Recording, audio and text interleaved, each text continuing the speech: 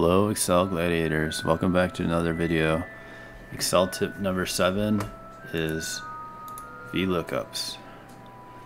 So VLOOKUP stands for vertical lookup. It's an Excel function and it looks for a specified value by searching for it vertically across the sheet. Alright, so let's jump on into VLOOKUPs.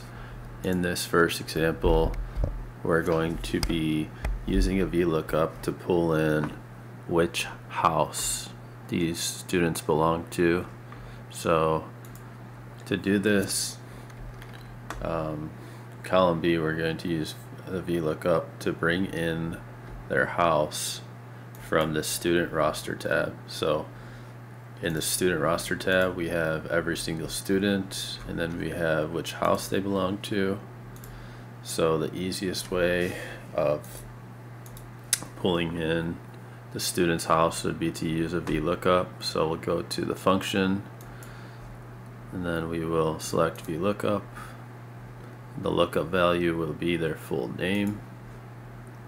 The table array will be the student roster. So we're going to select just column C and column D. So important note for VLOOKUPs, when you select this table, you want to make sure the leftmost column will match what you're looking up. So we're looking up the full name, so the first column in this table will be the full name. And then column index number will be you can see right here it says looks for a value leftmost column of the table returns a value in the same row from the column you specify by default the table must be sorted in ascending order.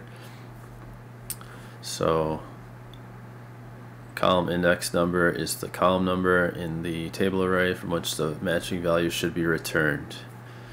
The first column of values in the table is column 1 so going back to here um, this is going to be just a number. So this is column 1 this is column 2 we want column 2 to be returned. So I will put column 2 you can see it it's going to return Slytherin! um, for the first student. The range lookup. In this case will be false because we want exact matches. True would give us an approximate match and we'll get to that later in this video but it's seldom used. In most cases, VLOOKUPs will be exact matches. So we will select OK. And then you can double click here or drag it down to bring down the VLOOKUP formula.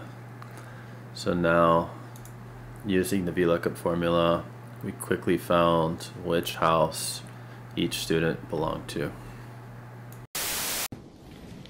You're a wizard, Harry. Okay, so in the second example, we're using VLOOKUPs with approximate matches instead of exact matches. So this is more rarely used, but I found it to be useful in some circumstances, and this is one of them. So we will create a random OWL score, basically their number grade using this rand between function. We'll do 30 as the lowest, 100 as the highest possible score. And note this change, this formula um, changes every time it recalculates. So I want to copy paste these values. So we just did that. And then we're going to be using these scores to determine their letter grades.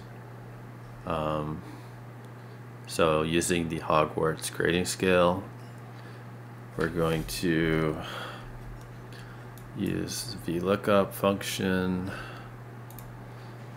Lookup value will be their OWL score.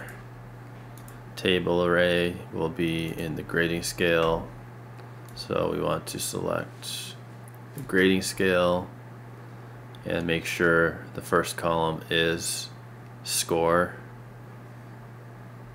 and then column index number will be 2 because we want to return the second column, their grade. So make that 2 and then make this range lookup true because we're not going to have exact matches for all these scores. We just basically have a grading scale. So we have 0, 0 to 49 would be troll. Troll in the dungeon! Troll in the dungeon! Thought you ought to know.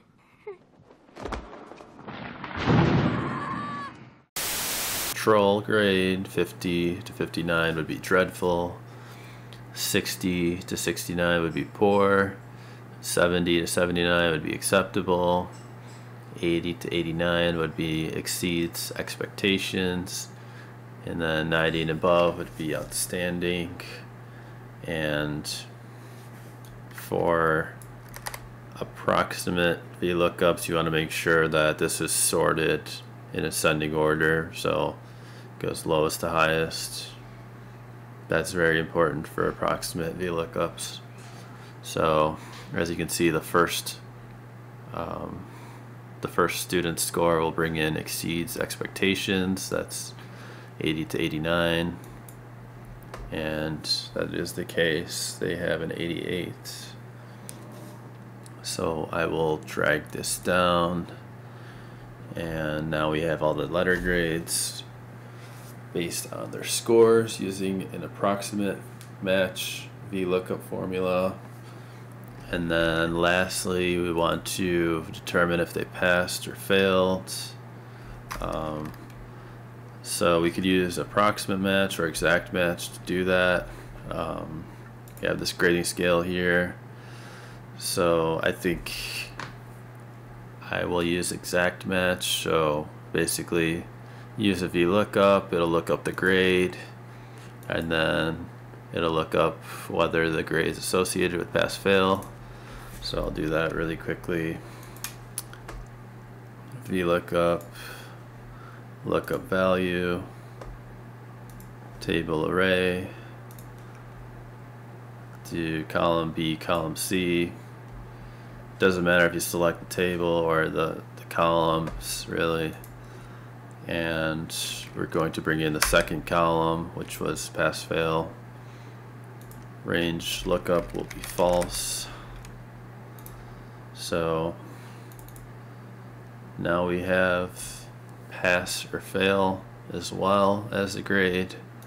And just like that we used exact match VLOOKUPs and approximate match VLOOKUPs in the same example.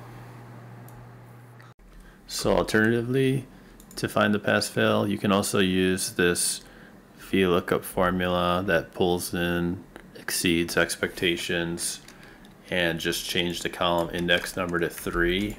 So I'll copy it over, paste it, and then change it to 3 to bring in the third column, which is pass-fail on the grading scale.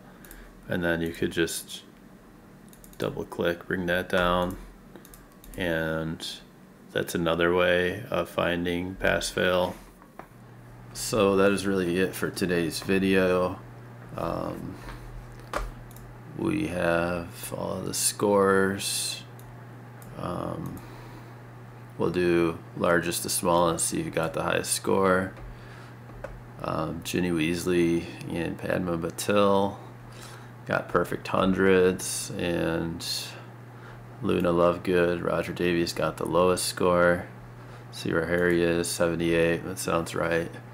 Um, yeah, I hope you guys enjoyed this video. Hopefully learned a thing or two. Um, hopefully you can implement VLOOKUPs in your Excel um, files. And to leave you guys off, I'll post a a funny video from Hogwarts Legacy. I hope you enjoy. Gladiator out. Mm, no, not you. Uh, ah, hmm. Perhaps. Yes. A Rare wood sounds fun. A rare wood, 13 and 3 quarter inches, dragon heartstring. Let's give this one a try. A carrot!